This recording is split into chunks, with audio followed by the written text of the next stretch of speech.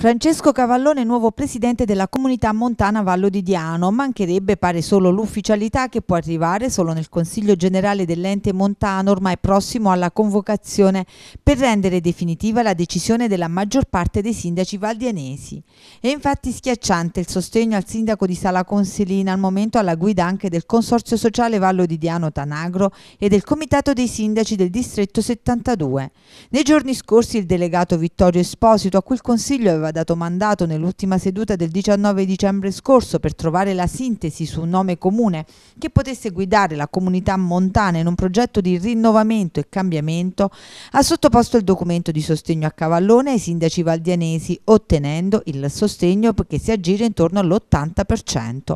Ed è proprio la volontà di cambiamento che ha spinto Cavallone ad essere indicato e scelto come successore di Raffaele Accetta. Ma non solo un cambiamento alla guida dell'ente montano, ma un cambiamento più generale in tutti gli altri enti comprensoriali. Tutto da ridiscutere e ridefinire ora anche alla guida del Consorzio Sociale Vallo di Diano Tanagro, in scadenza il prossimo maggio, e alla guida del Comitato dei Sindaci del Distretto Sanitario che Cavallone, una volta eletto presidente della comunità montana, dovrebbe lasciare. Nella serata di ieri è arrivata la comunicazione da parte del gruppo di dissidenti Strategia Vallo composto dai sindaci dei comuni di Atena, Buonabitacolo, Montesano e Polla che hanno ufficializzato la loro posizione sottoscrivendo il documento a sostegno di Cavallone come presidente della comunità montana.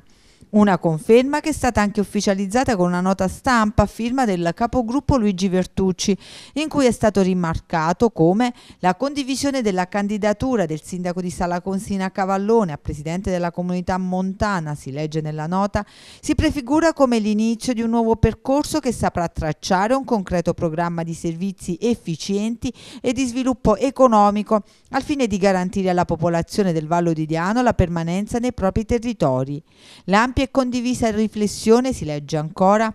che ha visto tutti coinvolti e l'unità istituzionale che ha dato dignità politica ad ogni comunità saranno gli elementi alla base delle scelte future che dovranno essere coraggiose per dare risposte e speranze ad ogni singolo cittadino di ogni singolo comune del Vallo di Diano.